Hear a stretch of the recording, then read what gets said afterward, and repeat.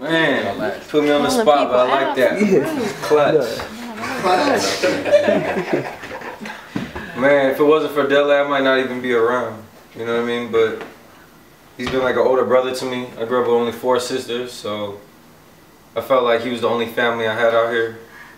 And Team Spachi. He taught me a lot. He taught me how to grow and mature. And sometimes it ain't, it ain't your season, it ain't your season.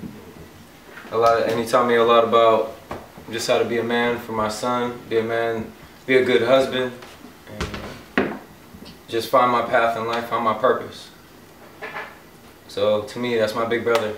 Yeah. Much love, D Mo.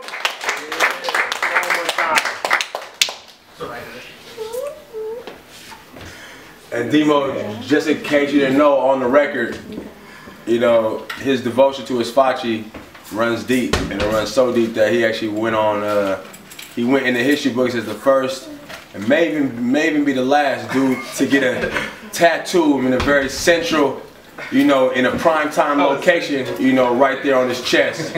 So, I mean, uh -uh. I'm not gonna make him show it right now, you know, that's Show that joint, man. Go ahead and see the, the team. Wow, no he didn't, fam. I ain't seen that joint. You need to be on the website. You're like just. oh. wow. So it goes without saying. What do you think so Yeah, that's nigga. That's love, fam. That's love. Yeah, that sacrifice that I respect. His loyalty is is unparalleled. You know, so I know we got him. You know, and as long as he has that tattoo, he's always gonna have, you know, some job with Team Spachi. He's always gonna get some discount as far as our appearance concerned. yes, I appreciate that. I'm sure the sun yeah.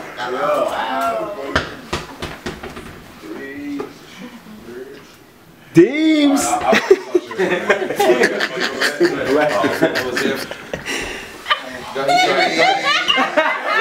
Deems. That no, that's. Yo, all right, so I'll, I'll, go on the spot. Uh, I mean, Dele. I mean, the whole Sobomehin family just in general has been an extension of my family since, you know what I'm saying, first grade or whatever. Um, each Sobomehin brother has played a very important role in my life. Remy, you know, been my best friend from day one. Tunde has been like an older brother slash role model, mentor. Uh, Nini, Nini is kind of on the fence, and then Dele. oh, cause we didn't interact too often, and too much. Uh, but Dele, you know, Dele has been. Uh, Dele and Tunde, but Dele uh, has been very crucial in my development just since I got to California. You know, even in the summers, um, before coming to Stanford, I used to like live in Dele's room. You know, he was in college, a young college student, letting like his little cousin, little naughty nose 17 year old in his room, you know what I'm saying, making a mess out of everything. But you know, he would take me in, a, in, in, his room and uh, or he would let Remy and I stay in his room. Um, and he would just, you know, take care of us, make sure that we were taken care of. I remember Dele, uh, he dropped so many jewels on me in terms of like just becoming a man. Uh, he went with me to open my first credit card and taught me, you know, only to buy gas with it and paid off at the end of every month to make sure that my credit was cool. And uh, day, you know what I'm saying? I thank for that. You know, I got a cool little credit score or whatever. It's just yeah, just everything. You know, and whenever I have a tough decision to make, I always go to Dele and get his input on what I should do. And he uh, he never steers me wrong. He always tells me what he thinks is best for me.